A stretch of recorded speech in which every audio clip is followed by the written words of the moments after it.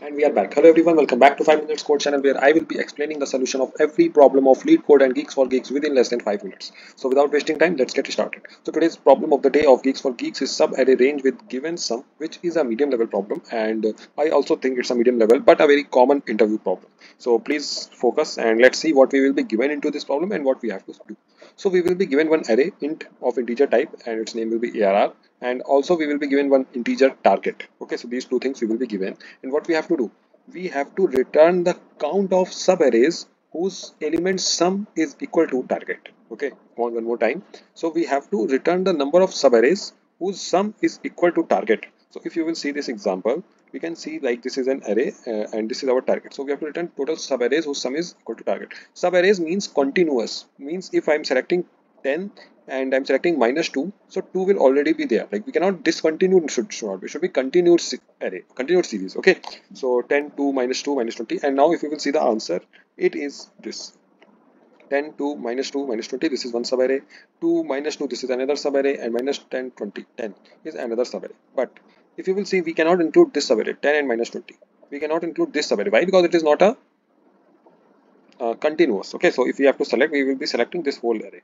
So i think the subarray problem the subarray thing and the problem statement is clear. So let's find out how we can solve this. So this is this problem is very based on a very interesting concept that is let me show you.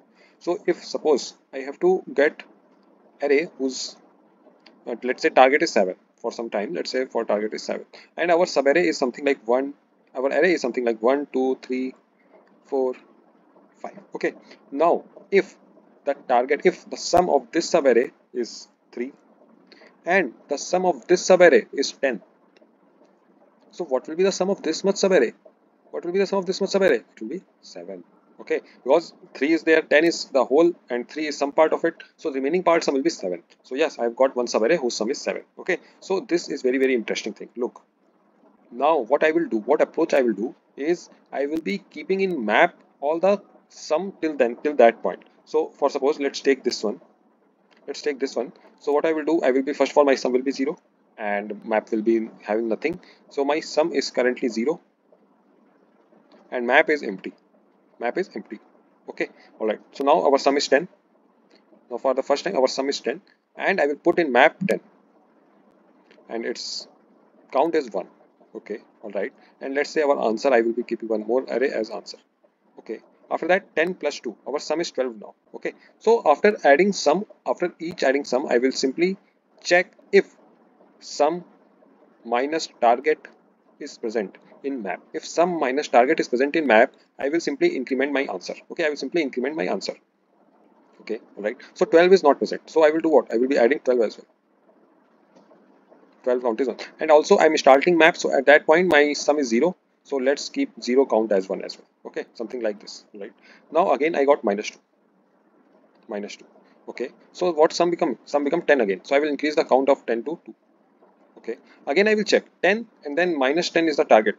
It's uh, like let's say minus 10 minus 10 minus 20 is present my map no. Okay. So uh, like the condition will be simple sum minus target. Okay. All right. Again i will get what? Minus 20 so i will do minus 20 all right. Now what will be the sum? What will be the sum? Sum will be minus 10 sum will be minus 10 so what i will do? Minus 10 and minus minus 10 so it will be plus 10 okay it will be 0 so 0 is already present. I will increment my answer by 1 because count of 0 is 1 again now look sum is 0 so i will increment by count to 2 i will increment the count by 2 okay. Again look. Now this is done. Now i got 10 okay i will got 10 I got 10 again. So what will be the sum now? Look, sum is 0. Sum is 0 at this point. Sum is 0. So again I will check. I will check what? 0 is my sum and minus minus. Minus target means minus 10. Minus minus plus 10. So I will check 10 in map. I will check 10 in map. Is 10 in map present? Yes, it is present two times. So I will increment my answer by 2.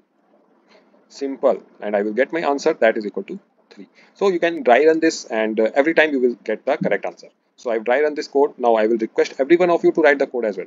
So let's see. And uh, yeah i'm going to write the code again so look i will be first of all using map of integer type. And if you are like coding in any language i think all the languages are same if you know the concept if you know the idea. So i will be having some variables as well. Sum is equal to 0 and answer is equal to 0 as well. Look i will do all the those things which i've already explained. Now i will be putting map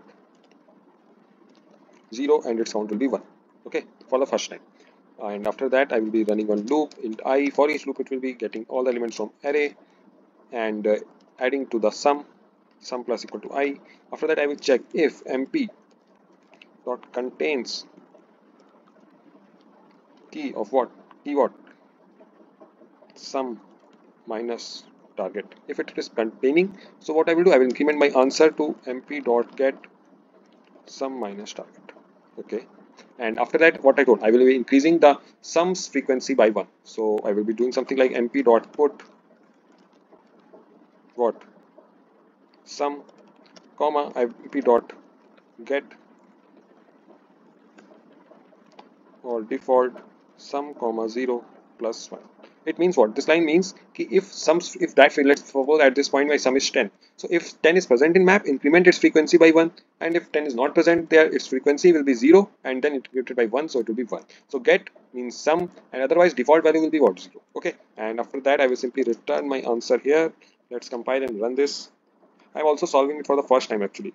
So let's see if i will be able to solve it or not let's submit the code. And meanwhile if you have loved the solution please don't forget to subscribe the channel like the video and comment down your feedbacks as well. Okay so all the test cases are passed and i've got my geekbit as well. So it was my attempt one. I hope the concept is clear and please dry run this once more if you face any difficulties and uh, comment section is always open. So i will see you again tomorrow. Till then keep on coding and bye. And please subscribe the channel